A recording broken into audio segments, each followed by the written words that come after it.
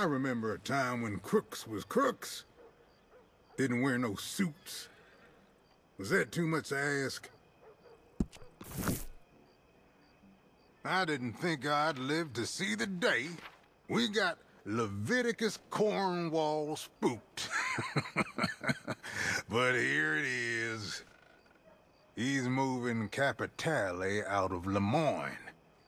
I don't know where to, but I know we better make sure it never gets there.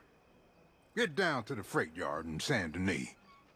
I recommend you go on tiptoes, but that's up to you. While you're there, might as well help yourself to a boatload of supplies. Shame to leave it in the wrong hands.